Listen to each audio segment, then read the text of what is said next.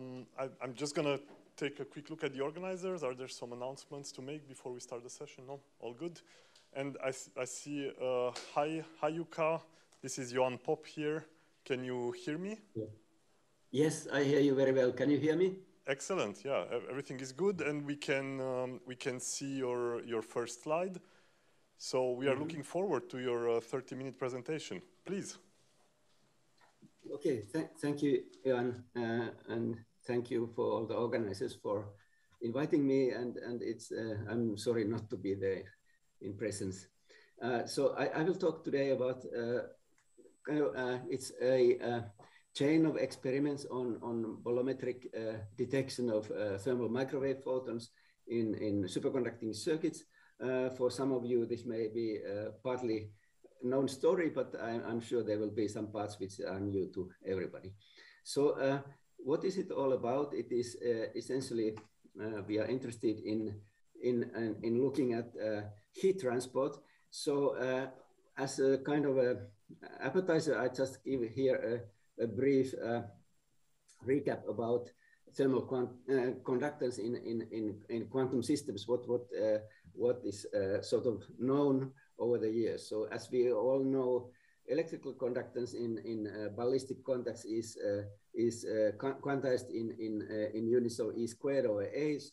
And similarly, uh, in, in, in these systems, uh, there is kind of a Wiedemann-Franz law holding in, in the sense that thermal conductance also assumes, assumes values which are, are, are discrete. Uh, and and this has been uh, this has been demonstrated in several experiments. And and and the uh, thing is that it's known that it does not this thermal conductance quantum does not only apply for for uh, electrons, but it also applies for any types of uh, carriers like phonons, uh, which has are already experienced for a very long time, although there are still questions about this, mm, how to really reliably observe that.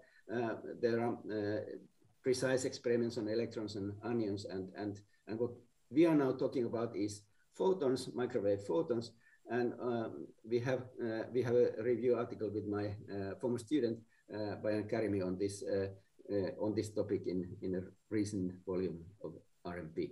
So so about the heat transported by photons, this is a kind of a simple story on on um, on, on in a nutshell. Uh, so if you assume this uh, uh, kind of uh, Johnson Nyquist uh, setup where you have um, where you have uh, two resistors which are not really diffusively conducting heat between each other, you still have the noise, the thermal noise that produces current in the circuit. And and by uh, uh, calculation, which is just uh, two or three lines, you can you can obtain the result that that the net current between the heat current between the two resistors is uh, is given by by this uh, by this formula in the in the regime where the temperature difference is small. So you get that uh, it's really governed by the quantum of thermal conductance, and for larger larger temperature differences, it is there's a quadratic dependence on the two temperatures, and and if the resistors are not equal, there's a this kind of a matching factor which is naturally one when the resistors are equal. So this is kind of the starting point and, uh, and how to really, now I give you a little bit of toolbox. So this is maybe familiar to some of the experimental audience already, but uh, how really to measure the heat. So uh, uh to measure the heat, heat current. So what we typically do is that we have uh, either one or two absorbers like this, which are like mesoscopic electron uh, absorbers. We apply heat to one of them and and uh, and we measure the temperature usually uh, uh, of both both of the two absorbers and and then uh, due to the continuity of, of heat current here we can we can find that that uh, the change of the temperatures of the two two absorbers here they obey uh, this simple expression. It's like a, a Kirchhoff's law for heat currents so if if the thermal conductance is un, this thermal conductance to the bath or the second one is known, then you can you can determine the the, the unknown thermal conductance that you are you are interested in. So, uh, but what are the other elements to do this are naturally that uh, we need uh, to measure temperature. So this is, of course, crucial and, and kind of the bread and butter for us in this context is to use uh, just uh, a, low frequency, let's say DC uh, temp temperature probing. And this we do with tunnel probes between a superconductor and normal conductor. So here is our typical absorber here. And when you measure the current, uh, we know that uh, that the current between these two is depending on the on the distribution of electrons in the uh, in in this normal conductor and the density of states in the superconductor, and and it only probes the temperature in this case of the of the normal metal if you are well below the gap below the TC of the of the superconductor. And in fact, in some uh, extreme regime, or let's say in some favorable regime, you even can tell that this is a primary thermometer in the sense that the logarithmic dependence of the current on the voltage has this simple simple uh, form, which we even experimentally we can we can demonstrate in some some cases. But in general, when measures usually like uh, um, like voltage at the uh, constant current, and this way you obtain the temperature of the of the electrons in this uh, normal conductor here. And the other important element is naturally what I already pointed out is that that uh, this absorber here is connected to the to the heat bath via thermal conductance, uh, which is usually the the, the electron phonon coupling, and this is something which is also very well known in, in literature and, and, and quantitatively known these days, uh, also from the experiments. In situ experiments, you can determine this electron phonon uh, coupling constant, and, and then uh, you, you have the heat power between the two systems, and you can linearize it in some cases to have a thermal conductance times the temperature difference. Okay, so these are the important things. And then, then the third element, which is important here, is that we need to uh, control the temperatures of these two uh, mesoscopic baths, so to say. So what we usually do is we use, again, a similar NIS uh, junction. And by biasing this junction uh, favorably, you can either cool the electron system in this, uh, in this uh, normal conductor here, or you can heat it depending on the value of the bias voltage here. So if you are at voltages which are just barely below the gap voltage uh, gap of the superconductor, then you, you are cooling the electrons here. Whereas if you go above this voltage, then you essentially produce a heater, which is like a uh, joule, joule heater of the electron gas in, in, the, in a normal metal. And this is something which is known also for a very long time already from, from the experiments from mid 90s uh, where I was also participating in. And it is it, it can really produce uh, big changes in temperature locally. And, and the nice thing is that in these systems that I showed, for example, here, if this normal conductor here is then uh, connected directly to the superconducting leads here, the, the, uh, these uh, superconductors block the heat transport through these uh, wires, and you indeed have this kind of the um, kind of the uh, textbook uh, Johnson Nyquist setup possible where you only have this uh, radiative heat transport and you don't have the uh, conductance through the through the through the through the leads in a conventional way. So this all this was already tested by us many years ago. So so in the simplest experiment, what you can see here on the left, we do exactly what I was saying. We we have a, we have one resistor here, another resistor here, you apply a voltage across a pair here, and you can produce the change of the temperature of that uh, resistor, which is shown by, by this blue curve here. It's a symmetric effect. So uh, with both positive and negative voltages, you, you decrease the temperature of this source here, which you can probe then with the other pair here. And then you can monitor simultaneously the temperature at the other end of the system, where, where which is separated by aluminum wire uh, and, and at the distance about 50 micrometers, 30 micrometers from this. And one can see that at, when you go towards lower temperatures, these two temperatures start to follow each other very closely. So if you if you really take this ratio, the two temperatures, which is really related to this conductance between the two, as I showed, then you can see that that this ratio is following quite closely to what you would expect from this quantum of heat conductance. Uh, not precisely because at that time, especially, we didn't have the, this electron phonon coupling very precisely measured. Uh, okay, so this was kind of uh, nice. We could see that uh, there is an experiment by Mikkos, Mikko group, uh, which made things 10,000 times better. It's, it's, a, it's a wire which is one meter long, and, and this way it, uh, they could even demonstrate it with this kind of a transmission line or, or, or let's say the uh, waveguide, which is, uh, which, is, uh, which is transmitting the heat between the resistors quite long, or quite long distance. Well, then there's the point that you can also modulate the heat by by uh, by changing the intermediate impedance. So in the beginning, we of course we didn't have any. This was kind of a, a system where where they were directly connected. But as soon as you start uh, to play with uh, some sort of uh, intermediate impedance here, which can be reactive impedance, like a squid here in this case, what happens is that that this uh, matching factor is uh, lost, and and you have less heat produced in the other resistor the, with the same principle. And, and then this works as a LC circuit here naturally. So you have uh, uh, Josephson inductance, which is then uh, uh, governing the heat transport between the two. And a simple model can be done in that case also to see how, how this conductance is modulated by this, uh, by this magnetic flux through this, through this squid. And in those measurements, we could see that indeed it, it really follows uh, quite nicely. I mean, this is the temperature of the heated electrode in this case. And you can see that that there are some certain values of, of magnetic flux where the in inductance gets maximized, half quantum uh, fluxes, and in this case, the temperature is increasing, and we could model this quite, quite nicely. So at higher temperatures where the electron phonon coupling is strong, it has the T to power 5 dependence, whereas this uh, has a T to 2 dependence. So, so here the electron phonon coupling wins, and then all the heat is really going to the to the phonon bath, and you don't see any modulation. But at lower temperatures, the modulation is clear.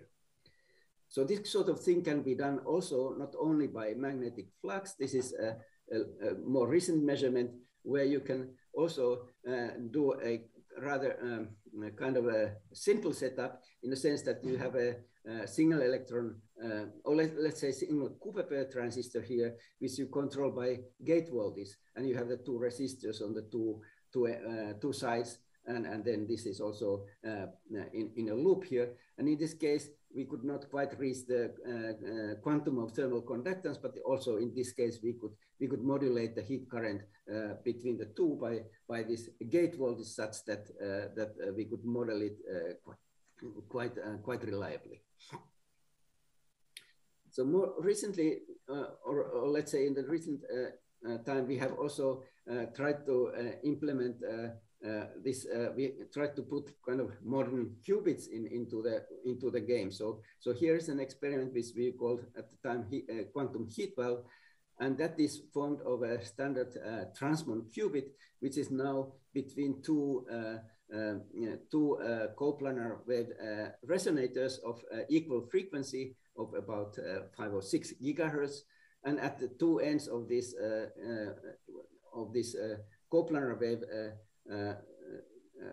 resonators, we have we have this uh, heat, heat bath as this is exactly the same figure I had before. So it's it's this few microns long resistor again here made out of copper, and and and the same principle as before. And, and in this case, uh, we, uh, we have really a connection between the two, but not even a galvanic connection. It's a capacitively coupled transmon qubit in between. And, and this we could uh, also uh, uh, Mm, uh, uh, model quite uh, quite nicely in the in the sense that when we measure when we measure the power from let's say left to the right where the temperature is uh, is or let's measuring the temperature on the right when the temperature on the left is controlled we could see that the power that is this uh, received measured as uh, as a temperature change here again is is is modulated such that twice in this uh, within a flux quantum there's a maximal power that is transmitted through and and then uh, and and then at different bath temperatures you can see differences. Uh, uh there's also some uh, extra heat here which is most likely through the uh, through the through the substrate in this case because the heat powers are quite small here. And and then when we go to this so-called cooling regime at voltages below the gap for the for this actuator pair of junctions then we can see that we can even cool down the, the, the, the distance source at a dis distance of, of about four millimeters without uh, direct electrical contact in this case. And, and modeling this is very straightforward. We have kind of a, uh, we have the, here, the power is like the difference in the distributions, uh, Bose distributions in the two resonators here. Uh, and then uh, then uh, it is cut by the Lorentzian when the resonators are off the resonance of the of the qubit. There are also more involved results in the in the in the regime where we we were we were uh, decreasing the coupling of the of the resonators to the to the bath, but I will not go to that uh, here. So now I will come to some uh, some results which are essentially they are uh, totally still unpublished, and and it is uh, it's uh, they came to us somehow as a surprise, but and then maybe for this audience this has some this is a little bit interesting also because so in, in the experiments that I was uh, telling you about up to now, these resistors are just few ohms. So uh, they are like made out of either copper or out of uh, gold palladium with maximum resistance of few ohms or let's say maximum tens, tens of ohms. But uh, the interesting uh, question, of course, arises if you if you make these resistors uh, much of higher much higher resistance, and, and what we did was that we, we started to use, uh, use uh, chromium as, as, uh, as the source and drain in, the, in this experiment. And here is a very traditional squid in between them with small junctions. So, so this is kind of the setup where, where you can expect that the, uh, that the uh, you know, dynamic uh, Coulomb blockade is playing a str strong role. So you have, you have a setup where, where the well-known P(E) theory should work very well. And, and we did initially, we did uh, measurements of just the direct uh, current voltage measurements of this of these uh, uh setups, uh, uh, which are shown here. So you can see that that the IV curves uh, at a temperature of here just below 100 millik, you can see that there is a there is of course what you expect here. There's some supercurrent feature there in the, in the center, and then then outside you have the linear dependence. But and, and if you then zoom into the central part of the IV curve here, you, you have something which you can, you can really model uh, quite beautifully with a, with a P(E) theory. And, and, and if you look at the uh, flux modulation, you also, you, you, you, you can really uh, produce something that you would, you would expect.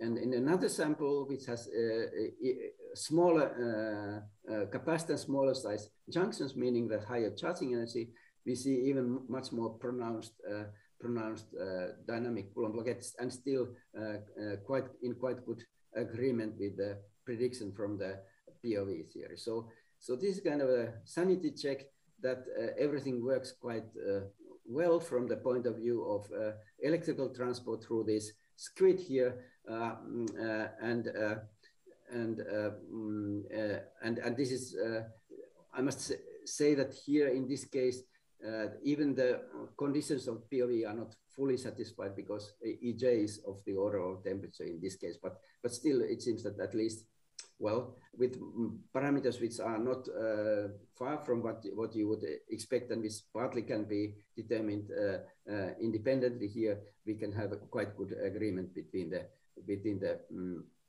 model and the measurements. So, but, but the surprise came when we started to look at the at the heat transport. So these are now samples which are um, which are otherwise uh, nominally identical, except that they are enclosed in a, in a in a loop for measurements of the heat. So in these early measurements, which uh, I showed, uh, it we kind of uh, realized that it is uh, crucial to set a, put the system into a superconducting loop because this way you can close the current path, which is really producing the, the heat uh, uh, heat in, in the in the opposite resistor. If it is if this is just an open-ended circuit, then you look, close the loop by a small capacitance, and this is this is not what what produces the quantum uh, limited heat heat transport in that case. So so this is exactly the same, but now in a loop geometry. Of course, since the junctions are small, we cannot guarantee that they are exactly the same as, as in the replica samples, but, but they are as close as possible. And then we have also this same typical setup here with the uh, heaters and thermometers. In this case, what we see here is that uh, now at two different values of flux, uh, let's say the flux nominally zero, flux half quantum, we can see that, that that uh, the temperature, again, this temperature ratio determined the same way as before.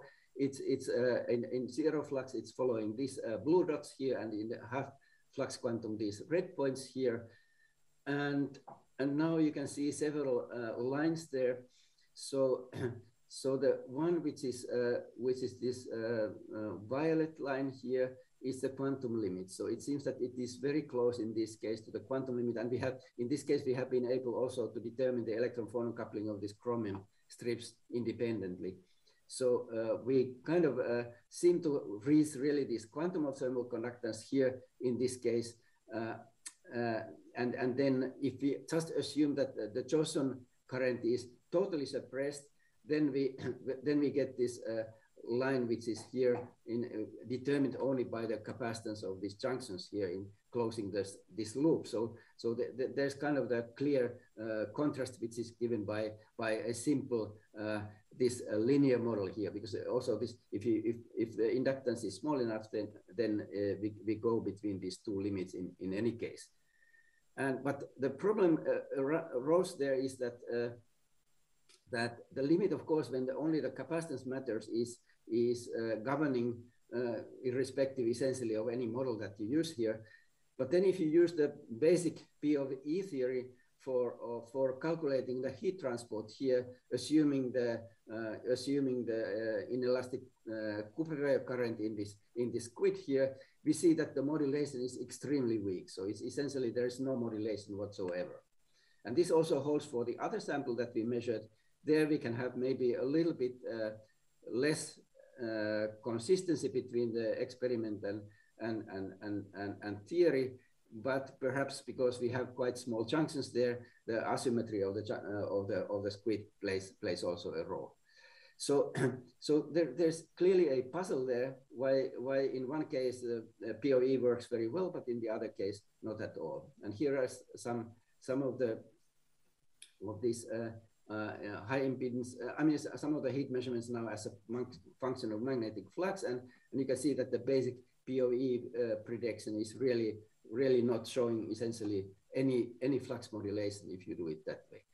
So now we are, of course, discussing this heavily with uh, many people, this uh, puzzle, and, and I, I, just present here how I at least uh, would see it at the moment. So this is, of course, very preliminary and not uh, just uh, given as a thought. So, so there's a uh, there's one one consideration that one should, of course, look is, at is that that if you look at the just the charge current through this replica sample, then we have when the current is composed of the uh, usual uh, uh, Josephson current plus the in inelastic part from kind of the POE current, then the DC part disappears there because you average over sinusoidal dependence Whereas if we are looking at heat, it's again like a comparison of uh, of of, of uh, current and noise. So because because heat is like a quadratic uh, quantity in in current, then then what you have is that uh, that uh,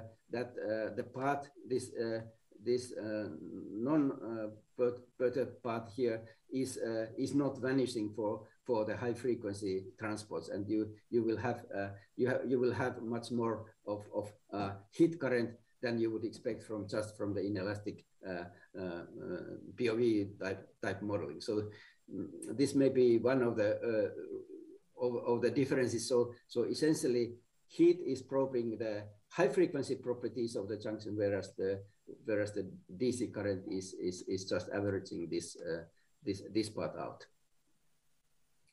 Okay, so that's uh, that's work in progress, and and and, and we have uh, benefited a lot from discussions with several several theories uh, locally, and and also with uh, uh, Alfredo Levy Yeyati, who is probably in the audience, and and and his uh, his people in Madrid.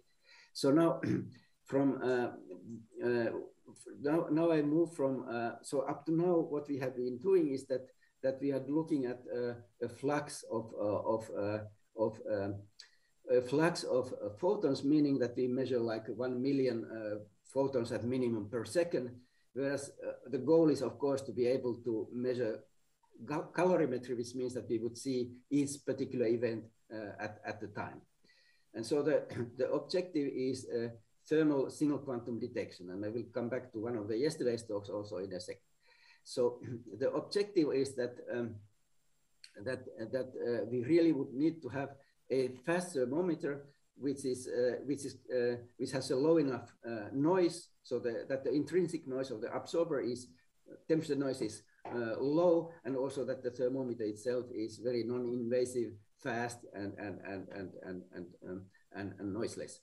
So so what you would like to see is that once you have a source of uh, of heat which is uh, for example a qubit relaxing from excited state to the to the ground state, you, you uh, obtain a, a pulse of heat to the absorber, which then changes the temperature of this absorber by an amount, which is the energy of the quantum divided by the heat capacity of the absorber. And then after a while, it, it would relax back to the to the uh, temperature of, of, of the bath, back to the temperature of the bath at the time constant determined by the system parameters, heat capacity and these thermal conductors. But what we are, of course, limited is by the intrinsic noise of this, of, the, of this system in terms of temperature. So what we have been uh, set up is to, to measure this temperature fast uh, and with a very non-invasive thermometer. So instead of using this standard uh, NIS probe, we are using a proximity NIS junction, which means that we put a clean uh, superconducting contact in in in in, uh, in, in contact with the with the normal metal so that it uses a little bit proximity to this junction and then we have a feeble supercurrent here which then is very strongly temperature dependent even at the low temperatures and the advantage here is also that uh, the impedance of this uh, uh of this probe is not huge and also that it is not producing too much heating because it's it's measuring it essentially at zero bias. Only the excitation voltage is causing something. So this this work has uh, we have shown in several experiments that we don't do not have any saturation of this thermometer even down to the lowest temperatures, and we can also prove that it really measures the electron temperature of this absorber. So uh, something related to this was indeed uh, presented yesterday by Efek Gumus, where where uh, the uh, the joint in the joint work where where he was uh, presenting the work on the calorimetry of quantum phase slip. So in in that case, one can do a repetitive measurement of of, of, of this temperature, and and the, and these phase slips, of course, they have energy which is about hundred or thousand times larger than what we are after when we try to see the the, the uh, quanta from the from the qubits. So it's it's it's a beautiful experiment. Uh, however, we really have to go quite a big step before we can say that we can measure these uh, single photons from, from, from a qubit, for example. So what is the noise uh, of this system? So if you assume that you have a perfect amplifier, everything, then you are still left with your um, thing, which is here, the, the normal uh, metal is coupled to its heat bath, and this in, uh, on top of conducting heat to the bath, it also produces naturally the noise via the, uh, via the uh, fluctuation dissipation theorem. You can, you can really determine the magnitude of this and, it and it's uh, related to the thermal conductance at, at the low frequencies. And then of course heat capacity if you can measure the full spectrum of this noise. So, so this is something that we were set up uh, to measure uh, a year or two years ago and we, we managed to, um, to see uh, uh, that uh, this that that the noise when we measure the temperature in real time, it has it has a, a noise which is not very far from the from this uh, uh, from this uh, limit which is given by the by the FDT. Of course, we subtracted the noise from the amplifier, so this is just a measurement of the intrinsic noise of the of the of, of, of, of the absorber that we saw. So it says that at low enough temperature, we should be able to measure uh, the um, uh, the uh, photons which are which have energy of one Kelvin or below if we are at, at temperatures well below 50 millikelvin, which is possible with our current detection method. But of course, life is not so good in reality. So, so that's why we, we have been thinking about how to further boost the sensitivity of this measurement. And, and we have uh, come up with an idea which, uh, which we are about to test in practice now is to really connect this, uh, connect this um, uh, qubit and the resonator to not only to one absorber, but to two absorbers which are thermally decoupled by, for example, a super, superconducting contact here, and then measuring the temperature of the two simultaneously. So this way, basically, what we can do is that we can do a cross correlation te temperature measurement, which then gets rid of the electrical noise to a large extent, hopefully. But also we have some hopes to get at least part of the of the thermal noise coming from the phonons to be to be uh, uncorrelated, such that that we, we really can improve the signal to noise ratio significantly. Of course, from the numerical simulations, things look really beautiful, but in practice, of course, the improvement will never be that good. But nevertheless, this is a way we are now going. And, and I think this is what I wanted to show today. So here is here are the main uh, players who have been doing, let's say, for the recent experiments, of course, uh, uh, Bayan and, and, and uh, Uh, uh, Diego Subero and Olivier Maillet have been doing these ones most closely. And then uh, this, and this work has been really backed by a lot of collaborations and, and most, let's say, about this calorimetry part, we have had a lot of interactions with Wolfgang Belzig and his Daniel Mikulic from his group. And then uh, also we discussed a lot with, uh, we had a lot of uh, interaction with Peter Samuelsson from Lund and Fredrik Brange, and also with Joachim Ankerhold here in the audience, I see. Uh, uh, and then uh, we locally with George Thomas and Dima Golubev on the theory side, and then as I mentioned also with the Madrid guys on the recent recent experiment that are going on. So thank you, I stop here.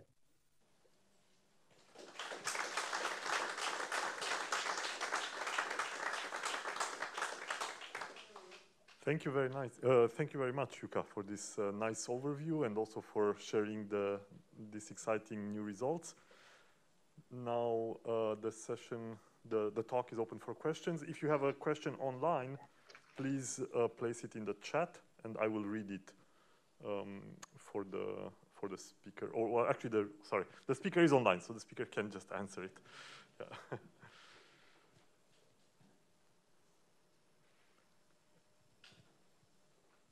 have a question. One moment.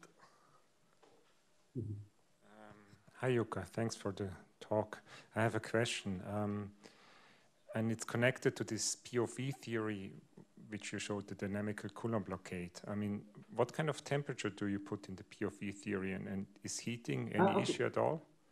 Sure, sure, sure. That, that's very, very good question because it's uh, in fact. Uh,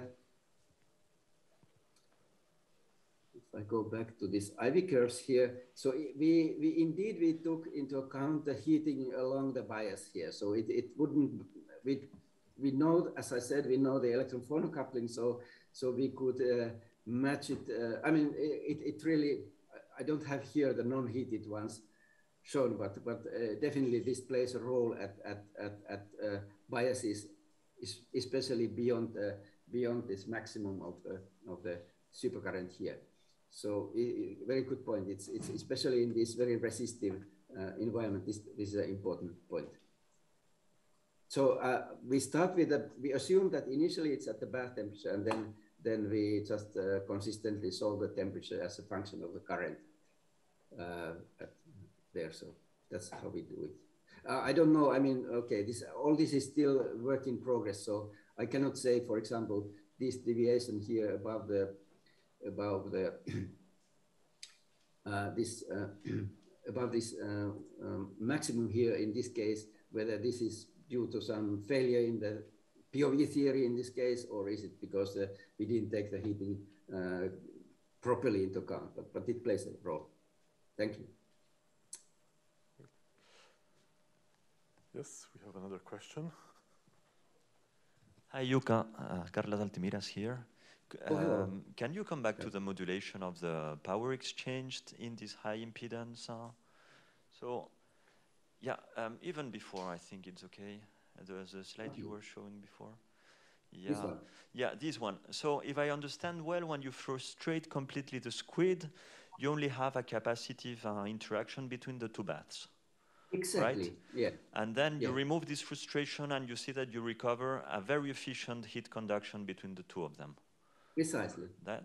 So I was wondering, what is the, the bandwidth of your RC circuit corresponding to these coupling capacitance and these uh, resistors? Uh, okay, okay, yeah. So uh, it's I, I don't have the figure here, but it is uh, the RC time constant is I mean it's uh, we can even figure it out here 10 to 4 and this is then uh, so it's it's still it is it's above uh, it's the this cutoff is above the above the thermal frequency clearly in this case. Above. Yeah. Yeah. Okay. So I think that's it. I, I mean, see, even though you have a normalization of the DC current, it comes from the fact yeah. that you have frequency conversion amongst the photons.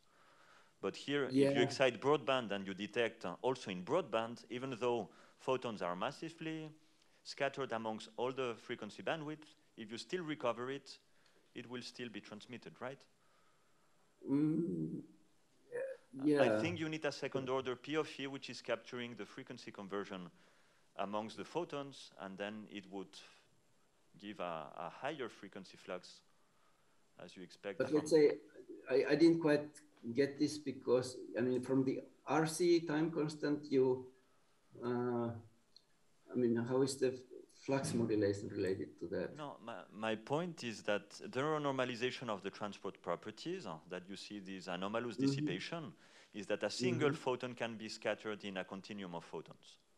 Mm -hmm. But if you detect the power in a large band, enough bandwidth so that you capture all the photons which are scattered to, to other uh, um, frequency scales, Mm-hmm. they will still contribute to, to, to, to the heat which is transferred to the other resistor. And since the density of states of the resistor is flat, if you just conserve the energy, you should conserve the, the, okay, the energy flux. We have to see, see together more closely, yeah. Mm. Okay. But anyways, the, the resistance is like uh, 10 kilo ohms, capacitance is like uh, one femtofarad. So what you get from that is, uh, uh let's say 10 to uh, 10 to minus 11. So it's in the giga range. Uh, so yes, so, so they are. So in yeah, yeah. I, so it's. Uh, I think your bandwidth is so big that you just get all the photons through the system, even though there is a massive uh, frequency conversion amongst them. Mm, okay, we, we should see this more closely. So, yeah. Anyways, the conclusion is that uh, when this when this uh, inductance is uh, small enough, then then it is uh, we are very close to this uh, this uh, basic. sure, you, there is yeah. no. Mm -hmm. Sure. Great. Excellent. is there a last quick question? If not, thank you, Jukka, for the nice talk. Thank you for the questions also. yes,